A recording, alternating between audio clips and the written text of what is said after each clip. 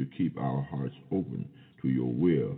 It is our Savior's name we pray. Amen. Let us be an example of what God wants us to do here on earth. And it came to pass that the beggar died and was carried by the angels into Abraham's bosom. The rich man also died and was buried. And in hell he lifted up his eyes, being in torment, and seeth Abraham afar off, Lazarus in his bosom. And he cried and said, Father Abraham, have mercy on me, and send Lazarus that may that he may dip his the tip of his finger in water and cool my tongue, for I am tormented in these flames. Two different surroundings, two different environments, two different places. The rich man is in one place and Lazarus is in another. God is indicating, and Jesus is indicating in this parable, that after death there is a destination for you, and it is based on your life here on earth. It is determined by your life here on earth. And he cried and said, Father Abraham, have mercy on me. Send Lazarus that he may dip the tip of his finger in water and cool my tongue, for I am tormented in these flames. But Abraham said, Son, remember that thou in thy lifetime receivest the good things, and likewise Lazarus evil things. But now he is comforted, and thou art tormented. And besides, all this between us and they there is a great gulf fixed, so that they which which would pass from hence unto to you cannot, neither can they pass unto us that would come from thence. In other words, you're separated by a large gulf, and neither can reach the other, neither can go or come. There can be transportation, cannot be a transport between the two entities or the two places. At some time later, both men died. At some time later, both men died. The beggar who had been carried to his begging station had been carried by an angel to be placed on blacksmith's scribe, that's Abraham's bosom. The rich man would have no doubt been buried in a lavish service, while Lazarus would have been unceremonious buried in a pauper's grave. Yet there was not the end of the story. Yet this was not the end of the story. Compare that. The note was made earlier as we were talking about how people are buried. Some people go through life with absolutely nothing, and then when they're buried, laid in a grave, they are splurged and pampered, laid in lavishness, coffins up to ten and twelve and twenty thousand dollars just for that, with jewelry and all kind of other stuff and flowers and this and that. And when in life they got a near mere smithering of that, pennies of that in this life. What is the decadence and what is the reason? What why is that? Where is the reason, the soundness of that? Why not give him, you've heard the saying, give me my flowers, let me smell my flowers, see my flowers while I live. That is the driving point on that. How ironic. How ironic. How ironic is that? Yet this is not the end of the story. There is life after death. Again, there is life after death.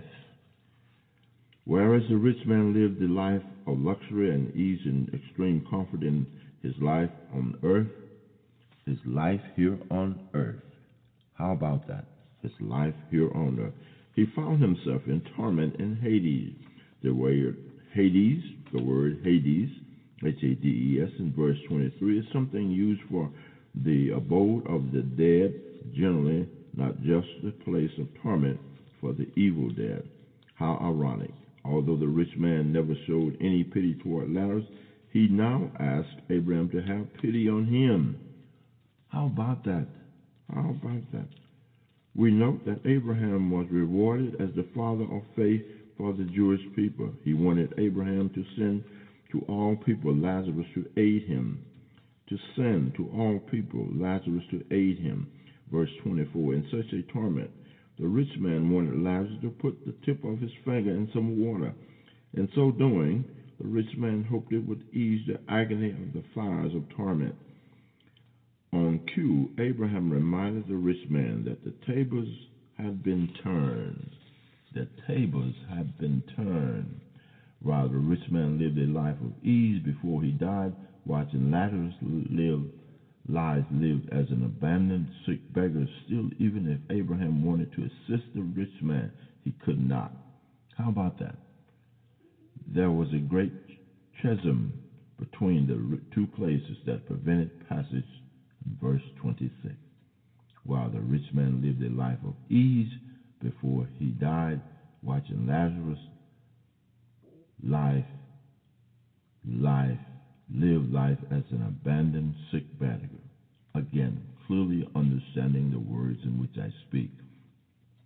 While the rich man lived a life of ease before he died, watching Lazarus' life live life as an abandoned sick beggar. Still, even if Abraham wanted to assist the rich man, he could not. There was a great chasm between the two places that prevented passage.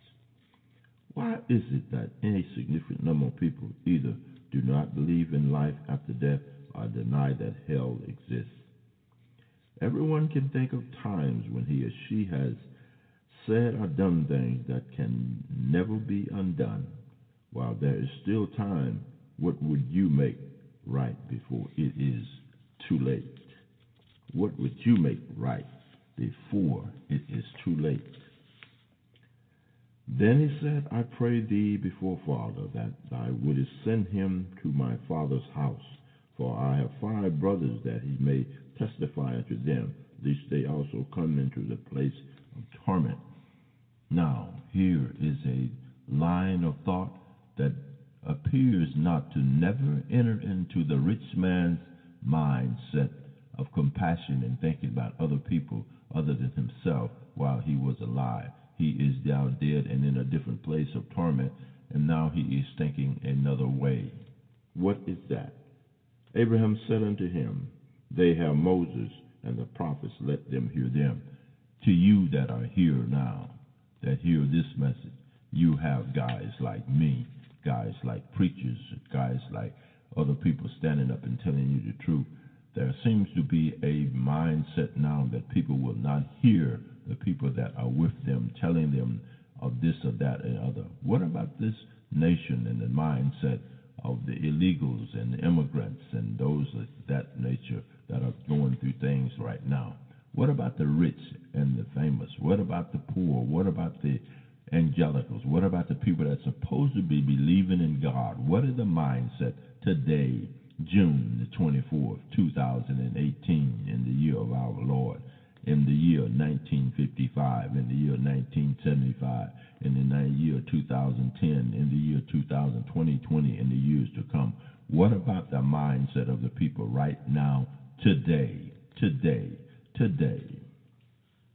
Abraham said unto him, They have Moses and the prophets, let them hear them. And he said, Nay, father Abraham, but if one went unto them from the dead, they will repent. Who do you know that have come from the dead other than Jesus Christ, our Savior, our intercessor, who sits at the right hand of the Father, which is God's Son, God the Father, Jesus the Son, and the Holy Spirit that have risen from the dead? Who do you know that has come back from the dead and gave you any news that were beneficial to you, good or bad? Who do you know? The only person that I know is Jesus Christ, God Almighty, and His Word is written in the words in which I speak and speak to you from His Word. He left the Holy Spirit with us to care of us and guide us and lead us into all truths. Our Father, He's waiting at the right hand of the Father right now, and He's waiting to hear you say, Our Father, which art in heaven Hallowed be thy name, thy kingdom come, thy will be done on earth as it is in heaven. Give us this day our daily bread, and lead us not into temptation, but deliver us from evil. For thou art the kingdom, and the power, and the glory forever. Amen. This is how Jesus taught his disciples to pray. How often do you pray? How often do you call on the Father who is at the right hand of Jesus, at the right hand of God? How often do you call on Jesus who is sitting at the right hand of the Father? How often? And he said unto him, If they hear not Moses and the prophets, neither will they be persuaded. though one rose from the dead. How about that? Listen to those words. And they said unto him, and he said unto him, talking to Lazarus now, talking to the rich man now, talking to the rich man about him going over and doing something, or him going back and telling his brothers, who may no doubt may be richer or richer. This rich man is talking about. And now here is his answer as he requested that somebody go to his brothers and tell them about this place. Guess who is telling you about this place right now? You're listening to a voice. You may not know, you may not see, you may not hear, you may not have seen, but you hear my words from a voice. And it is saying unto you right now, if they hear not Moses, if you hear not Moses, if you hear not this voice that is speaking to you now, and the prophets, neither will they be persuaded, though one rose from the dead. How about that? Do you believe Jesus Christ, God Almighty, our Creator, who sits at the right hand of the Father? Do you hear him and believe him? How about that? How about that? He said unto them, If they do not listen to Moses and the prophets, they will not be convinced, even if someone rose from the dead. We have given the rich man's credit. We have to give the rich man credit. He quickly realized that his faith was sealed. It was too late for him, so he thought about his family. Verse 27 How many of you today think about your family and your brothers and your sisters that lived the same way that he had? Again, the rich man wanted Abraham to send Lazarus to do something for him. The rich man wanted Lazarus to warn his five brothers about the fate that awaited them if they did not make a change in their lives. As in the documentary Scared Straight, the rich man hoped to shock his brothers into the way that saved them from eternal damnation. Talking about a person in prison, person that had went awry in this world, and they are now in chains, or in lockdown, or in death row, or in some place where they cannot be. So they said they come back and they tell folks that are walking in the same path trying to scare them straight. Just like him, the rich man's brother had every opportunity to listen to the writings of the Old Testament, verse 29, that was Abraham's share. They just had not heeded these words. That sounds an awful like like the faith that awaits many who do not heed the gospel message that can, but continue in their way to eternal damnation, still attempting to get his way as he had done in this eternal earthly life. How ironic. Living on this earthly life, it can lead to how you will live in eternity. Oh, still attempting to get his way as he had done in his earthly life. The rich man told Abraham that his brothers saw something from the dead. Abraham, that if his brother saw someone from the dead, they would repent. Abraham ended that in his dialogue with the rich man by telling him, the rich man, that his brothers hadn't listened to the words of the Old Testament and certainly would not listen to the words of a person raised from the dead. Verse 31. Verse 31 prophesies the disbelief that will be typical of the Jewish leadership in Jerusalem after Jesus' resurrection. The power of God's Word. How would you respond to Lazarus were to show up at your door tomorrow morning or show up at your door right now, how would you respond? Some people ignore the message that God has already sent to them. However, they would travel hundreds of miles to hear a big time evangelist. The Word of God is the Word of God. What do you think? How about that today?